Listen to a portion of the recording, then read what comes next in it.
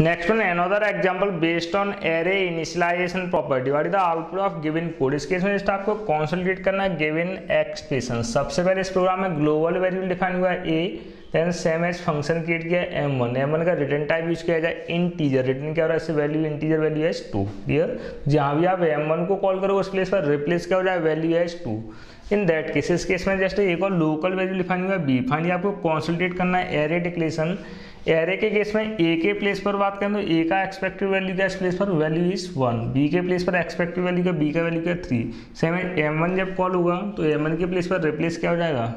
To and fourth place पर found करा four like that लेकिन मैं आपको ऑलरेडी इंश्योर कर चुका हूँ एरे के केस में जब भी आप इनिशियलाइज निकालो तो इनिशियलाइजर लिस्ट में ना ही वेरिएबल पास करना पॉसिबल ना ही फ़ंक्शन कॉलिंग स्टेटमेंट पास करना पॉसिबल ना ही कोई वेरिएबल एक्सप्रेशन मीन से इनिशियलाइजेशन कैसा है? इनवैलिड। इनवैलिड केस कौन से? फ़र्स्ट केस कैसा है इनवैलिड? सेकंड भी इनवैलिड है थर्ड भी इनवैलिड, लेकिन फोर्थ केस कैसा है वैलिड? क्योंकि फोर्थ केस में फाउंड क्या हो रहा है? कॉन्स्टेंट वैल्यू एच फोर के लिए फाइनली रेज क्या हो इस केस में? Compile time errors.